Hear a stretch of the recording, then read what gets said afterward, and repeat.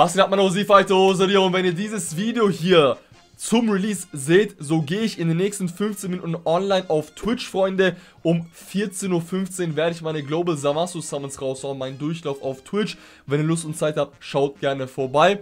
Apropos Samas, als ich dann heute Morgen das Das müsst ihr tun Video vorbereitet habe für die Global Thank You Celebration, welches ebenso online ist, wollte ich kurz nach einem Bild gucken, was ich gebraucht habe äh, fürs Bearbeiten. Ich schaue auf Twitter und Dokan Official haut einfach LR Godku raus. Freunde, wir haben die Information zu LR Godku. Ich wollte, ich wollte tatsächlich schon seit Ewigkeiten ein LR Godku. Ich habe mir das so vorgestellt, wie er so quasi im Ritual ist, so vom Artwork her. Ist nicht ganz so, ist auch nicht eventuell so auf den ersten Blick ganz so, wie ich es mir vorgestellt hätte. Wir gucken uns aber heute alle Informationen und Details, die wir aktuell haben, zu dem LR Godku, der angekündigt wurde. Dann würde ich sagen, wir gucken erstmal hier auf die Super Attack Animation rein. Aber das ist die erste Super Attack.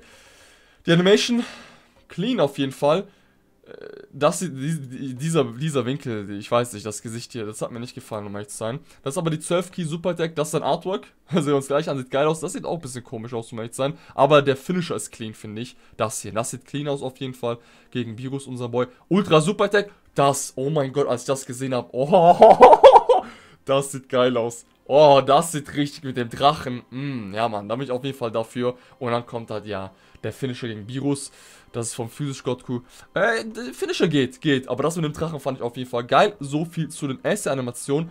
Wurde, wie gesagt, auf Dukan Official vorgestellt, Freunde. Wir haben noch keine Informationen dazu, wann er erscheinen wird. Es gibt gerade ein paar Spekulationen. Manche äh, sind sich unsicher, ob er Free-to-Play ist oder Summonable. Eigentlich ist die Antwort mehr als sicher. Wir haben offiziell nicht bestätigt, ob es Summonable ist oder Free-to-Play. Aber er hat 77 Teamkosten und sein Leader-Skill sagt mir auch so, dass ist, er muss eigentlich Summonable sein, Freunde. Das heißt, in den nächsten 2-3 Tagen erwarte ich, dass er auf JP erscheint mit einem Banner. Ähm, das sagt mir halt auf jeden Fall diese 77 Teamkosten aus und der Leader-Skill, den wir uns gleich betrachten werden. Er ist vom Super-In-Typus LR Godku seine Sets. Puh, lecko mio, hat der einen Angriffssets. Auf 100% 21.805.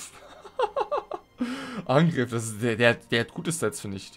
Okay, dann gehen wir jetzt mal hier schaut an Goresh an die Übersetzungen für LR Godku. Super In-Typus, Freunde. Sein Leader-Skill ist folgendermaßen. Er gibt der Pure Science oder Hybrid Saiyan Kategorie Key plus 4 HP Attack und F 130%. Ja, ja, das habt ihr nicht falsch gelesen, das ist kein Fehler, das ist, das ist richtig. Warum?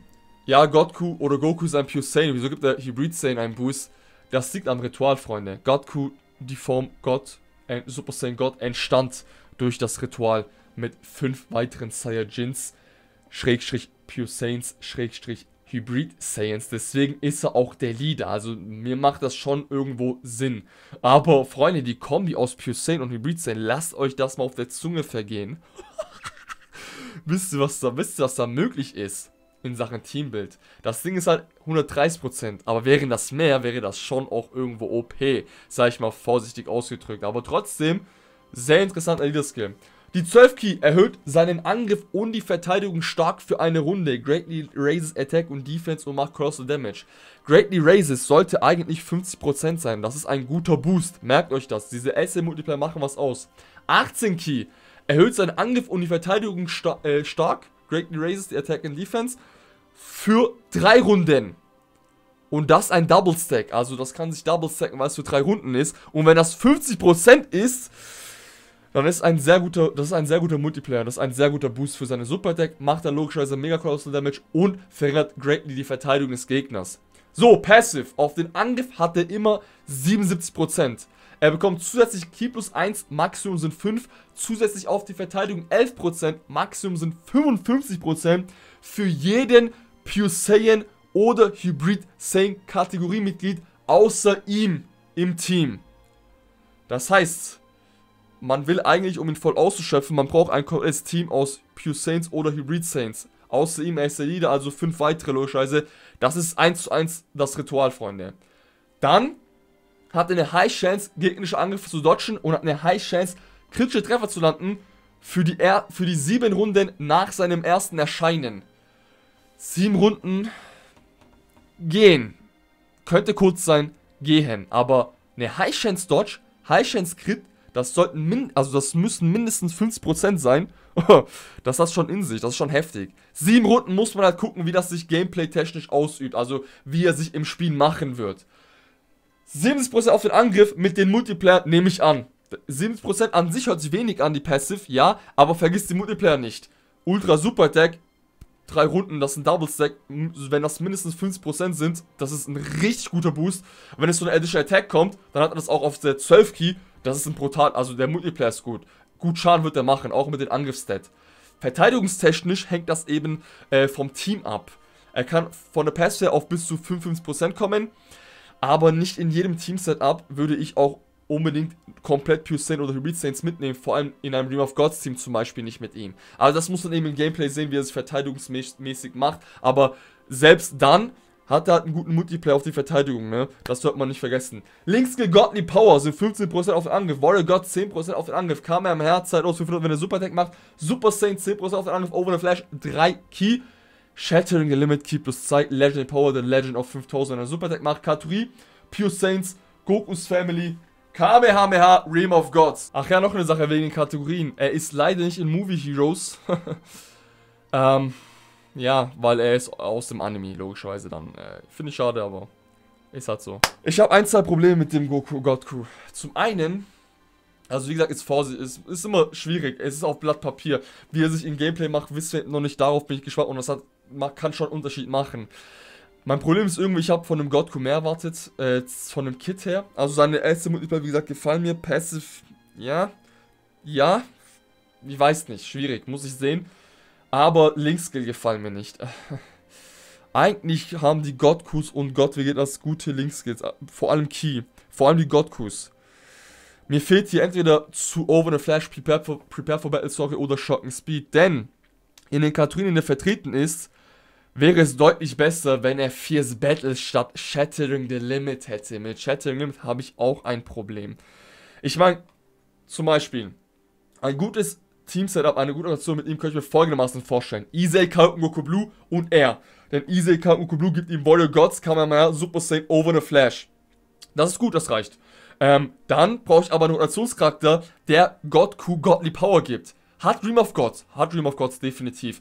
Supreme Kai of Time, Weskai, Topo und Govas und Samas. Das passt schon, also die Rotation passt schon im Dream of Gods Team. Aber ihr merkt auch schon, dann ist das Team logischerweise nicht komplett aus Pure Saint oder Hybrid Saints.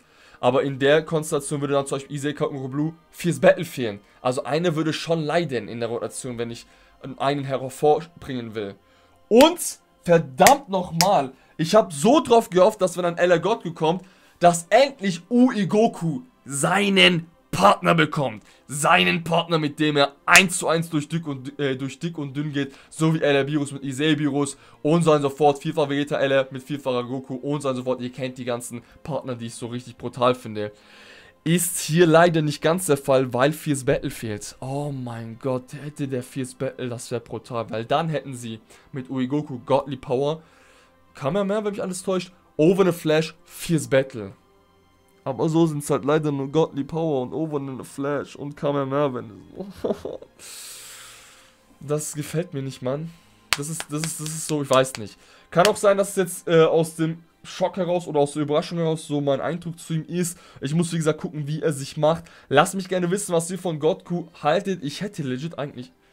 Schwierig, ich weiß nicht. Ich müsste sehen, was er drauf hat. Ich, keine Ahnung, Freunde. Ich, oh. Schwierig, ähm... Irgendwie hat er mich nicht komplett überzeugt, bin ich ehrlich zu euch. Kann aber auch vielleicht daran liegen, dass ich von einem LR God Crew viel mehr erwartet hätte. Beispielsweise ein Active Skin, Fragezeichen. Weiß nicht vom Kit her.